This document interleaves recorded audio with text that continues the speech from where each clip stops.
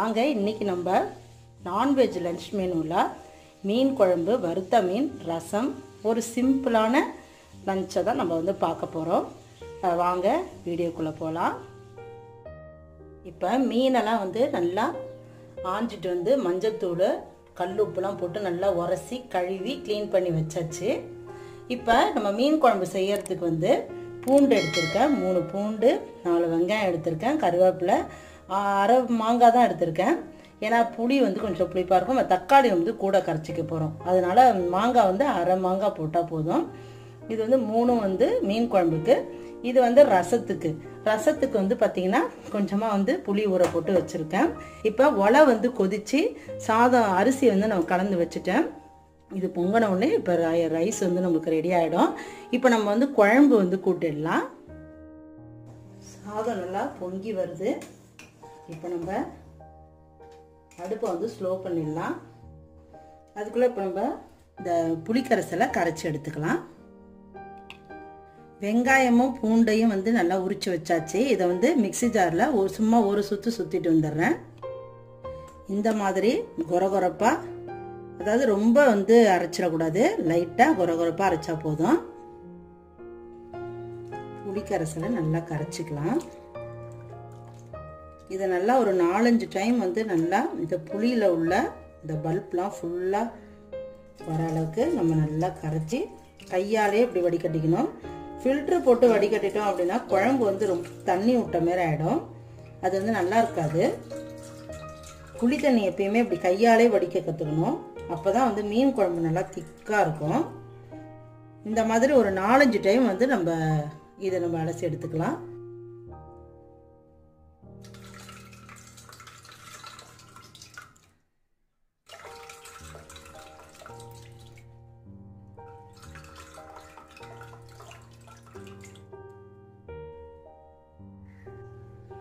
மூணு தக்காளி பழம் நம்ம எடுத்திருந்தோம் இல்லைங்களா? அதில் ஒரு தக்காளி பழத்தை வந்து வதக்கிறதுக்கு வச்சுக்கலாம். இது ரெண்டுத்த மட்டும் இப்போ நம்ம இதில் போட்டு நல்லா கரைச்சிக்கலாம்.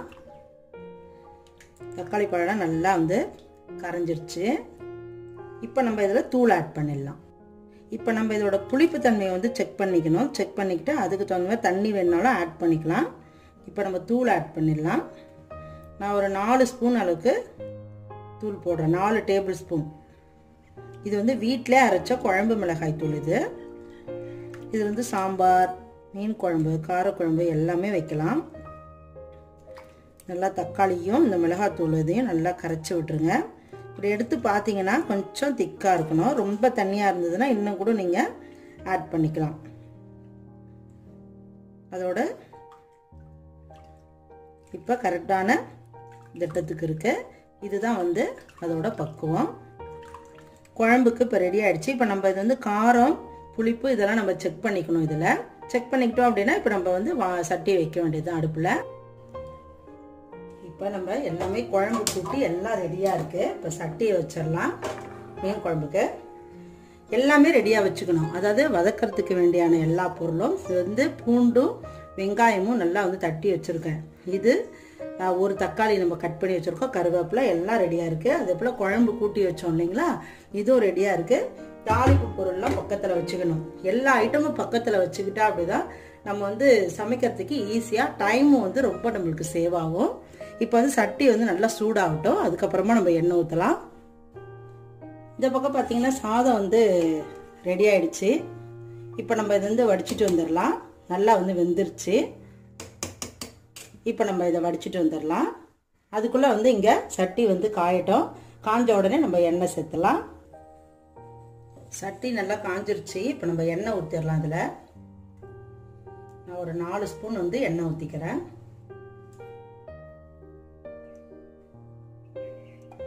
எண்ணெய் வந்து நல்லா சூடாகட்டும்.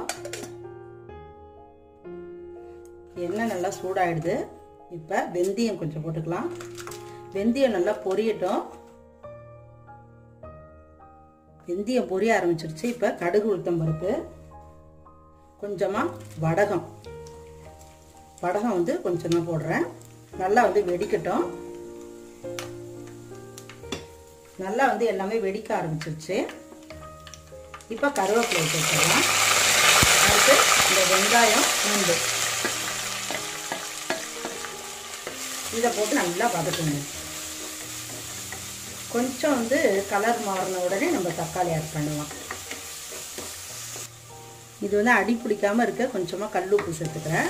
அப்போ தான் வந்து சட்டியில் நல்லா ஒட்டாமல் வதங்கும். அஞ்சு நிமிஷம் நல்லா வந்து வதங்கியாச்சு. வெங்காயமும் பூண்டும் இப்போ நம்ம தக்காளி பழம் சேர்த்துக்கலாம். தக்காளி பழம் சேர்த்துட்டு நல்லா வந்து வதக்குங்க. இதில் தக்காளியில் இருக்கிற தண்ணியெலாம் இப்போ வடிஞ்சு நல்லா வந்து தக்காளி ஸ்மாஷ் ஆகிற வரையும் வதக்கணும். அப்போ தான் மீன் குழம்பு டேஸ்ட்டாக இருக்கும். இந்த டைமில் ஒரே ஒரு பச்சை மிளகா நான் போட்டுக்கிறேன். அது சும்மா டேஸ்ட்டுக்கு தான். இல்லைன்னா ரொம்ப காரமாகிடும் நிறையா போட்டால்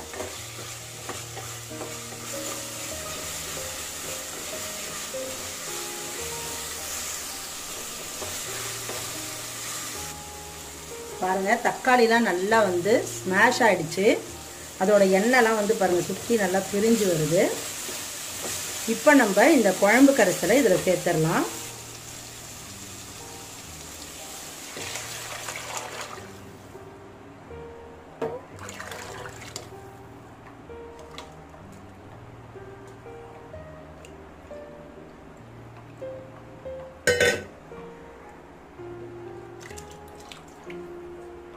சேர்த்துட்டு நல்லா கிளறி விட்டுட்டு இதில் உப்பு போட்டுடலாம். ரொம்ப போட்டுறக்கூடாது. நான் ஒரு ரெண்டு டேபிள் ஸ்பூன் அளவுக்கு போடுறேன். அப்புறம் பத்தலைனாலும் நம்ம போட்டுக்கலாம். ஃபஸ்ட்டே போட்டுட்டோம் அப்படின்னா குழம்பு வந்து திக்னஸ் ஆகாத உப்பு அப்புறம் கைக்கிற மாதிரி ஆகிடும் இப்போ நல்லா குழம்பு கொதிக்கட்டும். மூடி வச்சிடலாம். குழம்பு வந்து நல்லா கொதிக்கட்டும். கொதித்த பிறகு நம்ம வந்து மீன் சேர்க்கலாம். இப்போ நான் வந்து குழம்பு மீனுக்கு குழம்புக்கு போடுறதுக்கு அந்த தலை எல்லாத்தையும் குழம்புல போட்டுடலான்ட்டு ரெண்டு பாகமாக பிரித்து வச்சுருக்கேன். இது எல்லாம் வறுக்கிறதுக்கு அது வந்து குழம்புக்கு போடுறதுக்கு. வறுக்கிறதுக்கு வந்து நல்லா வந்து தண்ணி ஃபுல்லாக வடிச்சாச்சு. ஏன்னா தண்ணி வந்து இதில் ரொம்ப இல்லாத மாதிரி பார்த்துக்குங்க ஃபுல்லாக வடிச்சாச்சு தண்ணியை. இதுக்கு வந்து தேவையான மசாலா பத்திரலாம். இது வந்து பார்த்திங்கன்னா கொஞ்சமாக ஒரு நாலஞ்சு பூண்டும் கொஞ்சமாக ஒரு ரெண் ஒரு வெங்காயம் ஒரு பெரிய வெங்காயத்தை போட்டு அரைச்ச விழுது எடுத்து வச்சுருக்கேன் இது. இந்த வந்து அப்படியே சேர்க்குறப்ப நல்லா டேஸ்ட்டாக இருக்கும் மீன். இது வந்து ஒரு ரெண்டு டேபிள் ஸ்பூன் அளவுக்கு வீட்டில் அரைச்ச குழம்பு மிளகாய் தூள். ஏன்னா இது வந்து நல்லா அதுக்கு வந்து டெக்ஸ்சர் கொடுக்கும். அந்த மீன் நல்லா கோட்டிங் கொடுக்கும். அதுக்காக இதை எடுத்திருக்கேன். இதில் வந்து ஒரு டீஸ்பூன் அளவுக்கு சில்லி பவுடர் ஒரு டீஸ்பூன் அளவுக்கு பெப்பர் பவுடர் ஒரு டீஸ்பூன் அளவுக்கு மஞ்சள் தூள் ரெண்டு டீஸ்பூன் அளவுக்கு சால்ட் எடுத்திருக்கேன். இது எல்லாத்தையுமே இப்போ நம்ம வந்து இந்த வறுத்த மீனில் இதெல்லாம் கலந்துட்டு நம்ம வந்து பெசர வேண்டியது தான்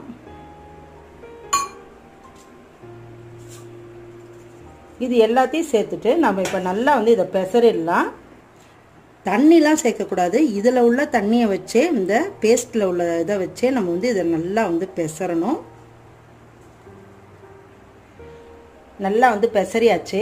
உப்பு காரம் எல்லாமே கரெக்டாக இருக்குது எல்லாமே நம்ம செக் பண்ணிக்கோங்க. அப்படி காரம் உப்பு எதாவது பத்தலைனாலும் நம்ம இதில் ஆட் பண்ணிக்கலாம். இது வந்து கிட்டத்தட்ட ஒரு ஆஃப் அன் ஹவர் வந்து ஊறட்டும்.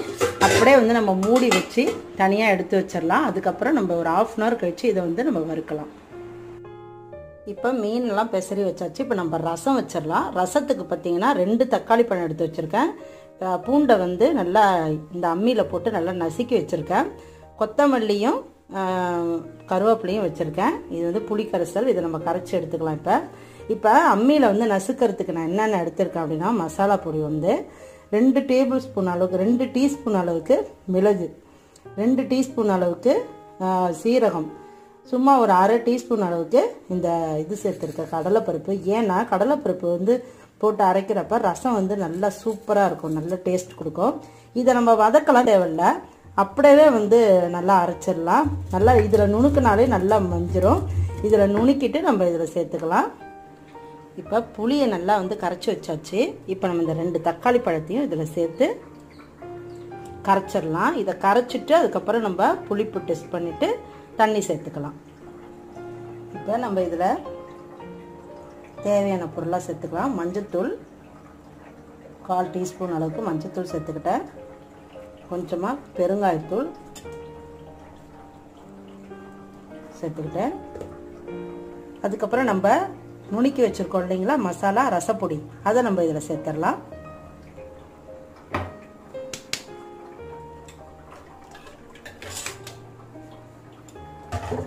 எல்லாத்தையும் சேர்த்துட்டு நல்லா கலக்கிட்டு இதுக்கு தேவையான உப்பு சேர்த்துடலாம். நான் வந்து கல் உப்பு தான் போட்டிருக்கேன். அதோட இந்த பூண்டு மெச்சு வச்சுருக்கோம் இல்லைங்களா? இந்த பூண்டையும் சேர்த்துடலாம். இதோட வந்து இதை நம்ம எல்லாத்தையும் மிக்ஸ் பண்ணிவிட்டு டேஸ்ட் பண்ணி பார்த்துட்டு கரெக்டாக இருக்குது எல்லாமே கரெக்டாக இருக்குது புளிப்பு அந்த ரசத்தோட காரத்தன்மை எல்லாமே நல்லாயிருக்கு இப்போ நம்ம தாளித்து கொட்டிடலாம் இதில். மீன் குழம்பு பாருங்கள் எண்ணெய் நல்லா சுற்றி வந்து ஒதுங்க ஆரம்பிச்சிருச்சு. இப்போ இன்னும் ஒரு அஞ்சு நிமிஷத்தில் குழம்பு வந்து பக்குவமாக ரெடி ஆகிடும் அப்புறம் நம்ம மீனையும் மாங்காவையும் சேர்த்துக்கலாம். இப்போ நம்ம வந்து ரசத்தை தாளிச்சிடலாம். ஸ்டவ் ஆன் பண்ணிவிட்டு வானல் வச்சிடலாம். வானல் நல்லா காயட்டும். வானல் நல்லா ஹீட் ஆகிடுச்சு அரை டீஸ்பூன் அளவுக்கு எண்ணெய் சேர்த்துக்கிறேன்.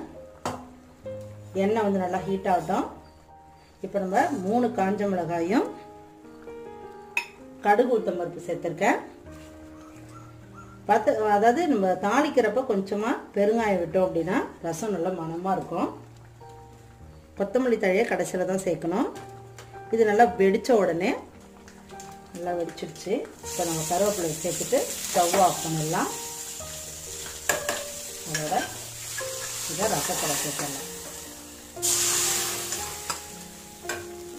நல்லா வந்து மிக்ஸ் பண்ணி விட்டுருங்க ரசம் வந்து நல்லா பொங்கி வரணும் நுர தள்ளி வரப்போ நம்ம இந்த கொத்தமல்லியை சேர்த்துட்டு ஆஃப் பண்ணிடலாம். அதோட ரசம் ரெடி ஆகிடும் இப்போ மீன் குழம்பு ரெடி ஆகிடுச்சு பாருங்கள் குழம்பு நல்லா திக்காக ஆரம்பிச்சிருச்சு. இப்போ இந்த டைமில் நம்ம என்ன பண்ணிக்கலாம்? அடுப்பை வந்து ஃபுல்லாக வந்து ஸ்லோ பண்ணிவிடுங்க பண்ணிவிட்டு மாங்காய் கட் பண்ணி வச்சுருந்தோம் இல்லையா? அந்த மாங்காவெல்லாம் இதில் போட்டுடலாம். இப்போ நம்ம இதில் வந்து மீன் துண்டெல்லாம் சேர்த்துடலாம்.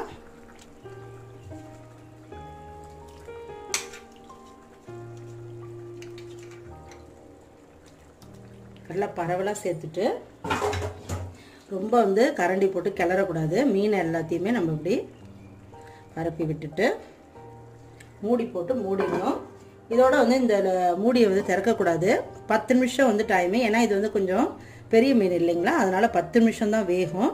நல்லா சிம் ஆக்கிடணும். ஃபுல்லாக வந்து அடுப்பை வந்து ஃப்ளேமை வந்து குறைச்சிருங்க. அதோட இது பத்து நிமிஷத்தில் மீன் குழம்பு ரெடி ஆகிடும் ரசம் வந்து பார்த்திங்கன்னா இப்போ ரெடியாக போகுது. இப்போ நான் மீன் குழம்பு வந்து இந்த அடுப்பில் வந்து மாற்றிட்டு மீனை வந்து வறுக்க போகிறேன் ஏன்னா நம்ம ஒரே அடுப்பில் எல்லாத்தையும் செஞ்சுட்டு இருந்தோம் அப்படின்னா ரொம்ப டைம் எடுக்கும். அதனால் இதை நம்ம இந்த அடுப்பில் மாற்றிடலாம் மாற்றிட்டு இந்த அடுப்பில் வந்து நம்ம மீனை வறுத்தரலாம். பேன் வந்து நல்லா காயட்டும். ரசம் வந்து நல்லா நுர கட்ட ஆரம்பிக்குது. கொதிக்க விட்டுறக்கூடாது. நுர கட்டிட்டு இருக்கப்பவே நம்ம வந்து நிறுத்திடணும். பாருங்க நல்லா வந்து நுர கட்டி வருது. இப்போ நம்ம வந்து இதை ஆஃப் பண்ணிடலாம். ரொம்ப வந்து கொதிக்க விட்டுறக்கூடாது. ரசம் வந்து நல்லா இருக்காது இல்லாட்டி. பாருங்க இப்போ நல்லா வந்து பொங்குது பாருங்க. இதுதான் ரசம் வைக்கிற பதம் எப்பயுமே. இப்போ ஆஃப் பண்ணிட்டு கொத்தமல்லி தழைய அதில் வந்து தூவி விட்டுருங்க. அதோட கொத்தமல்லி தழையை நல்லா விட்டுட்டு உடனே மூடிடணும் இல்லாட்டி ரசத்தோட மனம் வந்து போயிடும். இப்போ நம்ம இதில் எண்ணெய் வந்து சேர்த்துட்டு மீனை வறுக்க ஆரம்பிச்சிடலாம். எப்பயுமே மீன் வறுக்கிறதுக்கு எல்லாமே பக்கத்தில் வந்து வச்சுக்கணும். இப்போ எல்லா பாத்திரமும் எடுத்து விளக்குறட்டில் போட்டுடலாம். இப்போ இங்கே எதுவுமே பாத்திரம் இப்போ கிடையாது அடுப்பு மேடையில். இப்போ எண்ணெய் சேர்த்துடலாம் மீன் வறுக்கிறதுக்கு. எண்ணெய் சேர்த்துட்டு மீன் வந்து நல்லா ஆஃப் அன் ஹவர் ஆனோடனே நல்லா ஊறி நல்லா பதமாக நல்லா இருக்குது இப்போ எடுத்து ஒரு ஒரு மீனை. மீன் வறுக்கிறப்ப எப்பயுமே ஸ்லோவில் தான் அடுப்பு வச்சுருக்கணும். ரொம்ப ஃபாஸ்ட்டாக வச்சிங்க அப்படின்னா தீஞ்சிடும். இந்த மாதிரி பெரிய பெரிய மீன்லாம் வறுக்கிறப்ப ரொம்ப ஸ்லோவாக வறுத்தா தான் அடுப்பை வந்து ஸ்லோ பண்ணி வறுத்தா தான் எல்லா இடத்துலையும் நல்லா வெந்து நல்லா இருக்கும். இது இப்போ ரெண்டு டைமாக போட்டு வறுக்கணும்.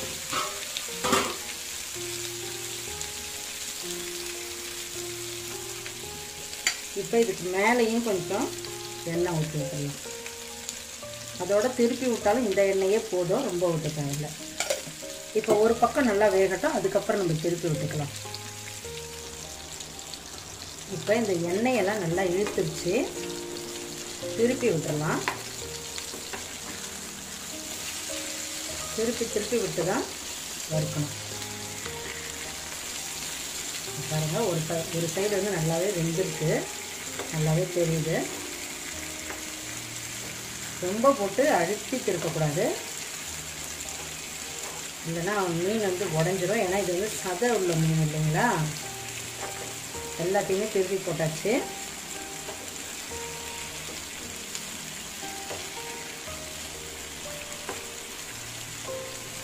இப்போ இந்த சைடு நல்லா வேகட்டும்.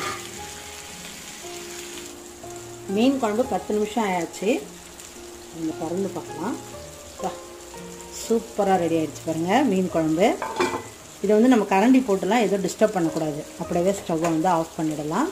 மீன் வறுவலும் ரெடி ஆகிட்டுருக்கு ரசம் பாருங்கள் ரசமும் ரெடி ஆகிடுச்சு சாதமும் வடிச்சாச்சு. மீன் வந்து ரெடி ஆகிடுச்சுன்னா இன்றைக்கி நம்ம லஞ்ச் மீன் அவ்வளோதான் ரெடி ஆகிடுச்சு பாருங்கள் எண்ணெயே வந்து நல்லா இல்லாமல் ஃபுல்லாகவுமே நல்லா இழுத்துருச்சு. இப்போ எல்லா மீனையும் எடுத்துடலாம் நம்ம. உடையாமல் எடுக்கணும்.